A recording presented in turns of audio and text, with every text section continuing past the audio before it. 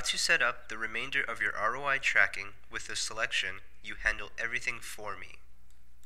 Once your basic settings have been configured, you can go on to completing your ROI tracking setup. First, let's look at the optional parameter name. This parameter will be appended to your landing URL. It can be any variable name of your choosing. If you have a specific name that needs to be placed, such as one assigned by an affiliate, you should enter it here. Otherwise, you can leave it to the default.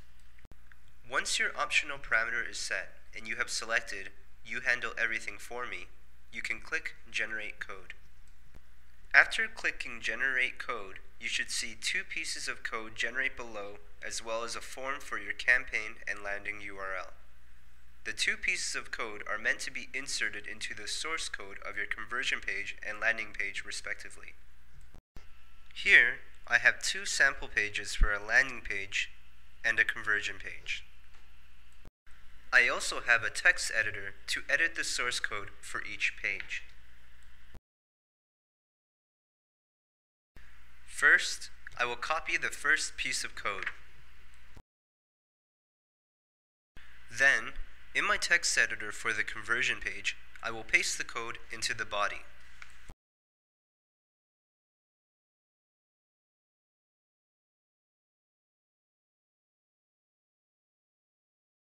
Next, I will copy the second piece of code.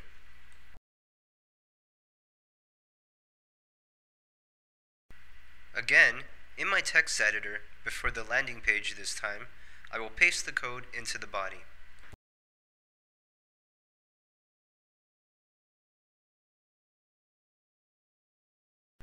When you have finished inserting your code and saving it, return to your admin area.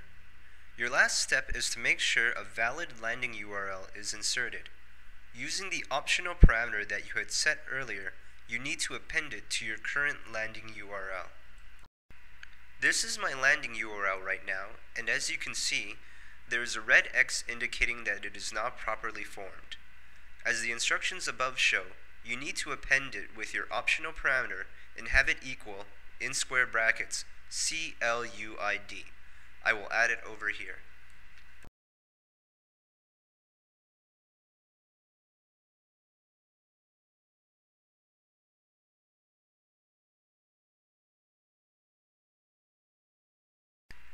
After editing it, click Update. If your URL is formed correctly, you should see the red X become a green checkmark.